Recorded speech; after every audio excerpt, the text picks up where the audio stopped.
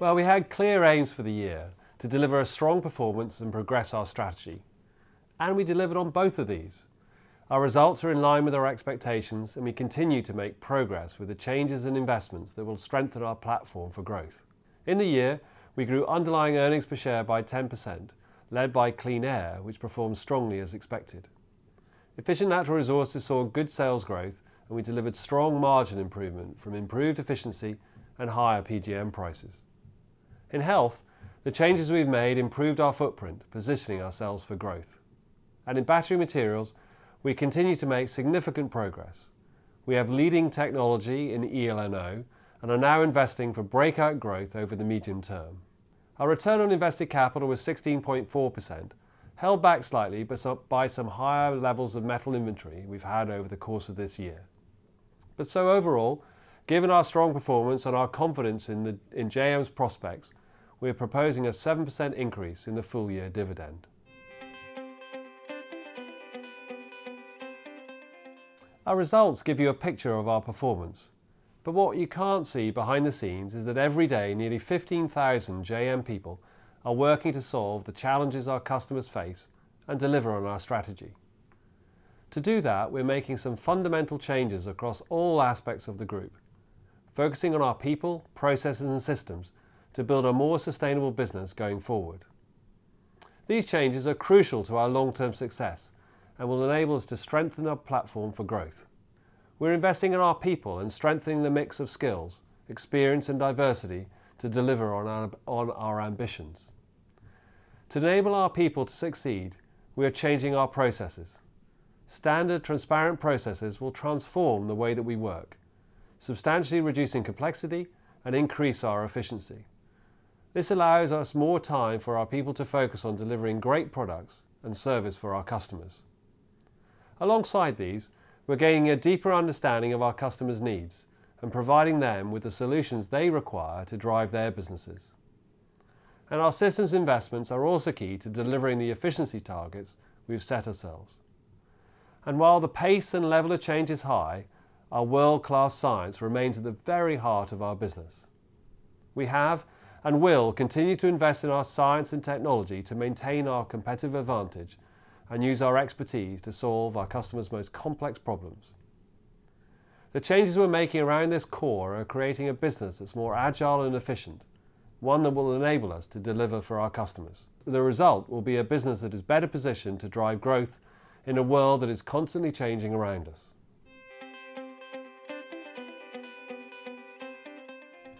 This year, our technology leadership in light-duty diesel in Europe delivered our expected share gains. But given the market dynamics, where there is a shift away from diesel cars, we are now reallocating some of our R&D spend to gasoline technology to deliver future share gains there. In our Clean Air business, we will deliver our strategy for sustained growth through our global leadership with the best technology, through our competitive advantage in working with our customers to enable them to meet increasingly stringent legislation, and through an efficient manufacturing footprint. Tightening legislation will be a key driver for growth in Clean Air, particularly in China and India, with the implementation of China 6 and Bharat 6 for light and heavy-duty vehicles. We will capture this growth to double our Asia business over the medium term. And we are expanding our manufacturing footprint, adding new capacity in Europe and Asia to support our growth.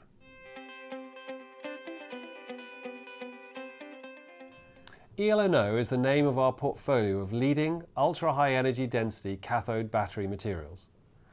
We've made good progress this year in the development and commercialization of eLNO.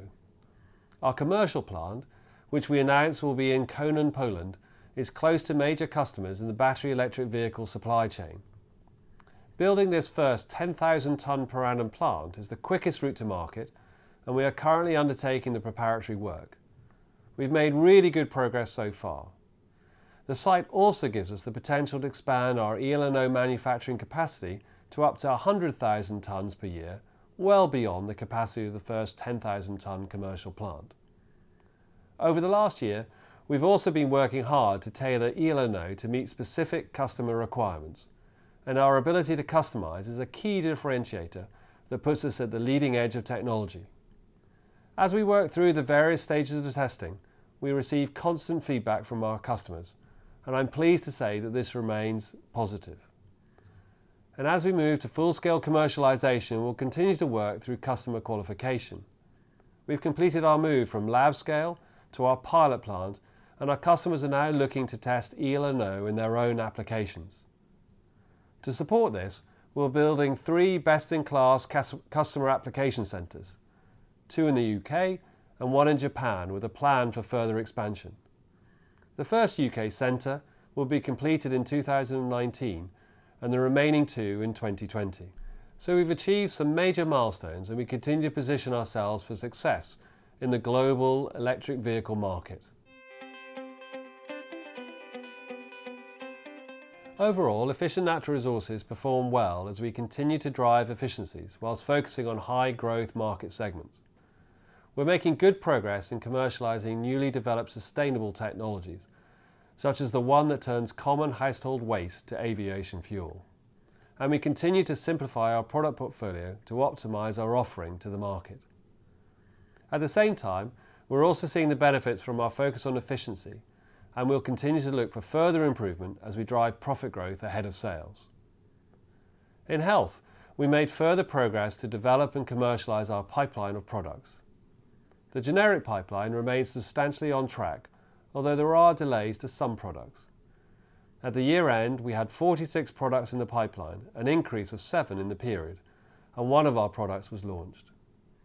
Our pipeline of innovator API products also continued to progress, with three products nearing commercialization. As we execute on our strategy, we have made significant progress in restructuring our assets. The closure of our Riverside plant in the US is now complete, and we are ramping up our UK plant in Annan. So in health, we're on track to deliver an additional 100 million pounds in operating profit from our pipeline by 2025. Well, as we progress through the current year, a key priority will be ensuring the smooth ramp-up of our new Clean Air manufacturing plants in Poland and China.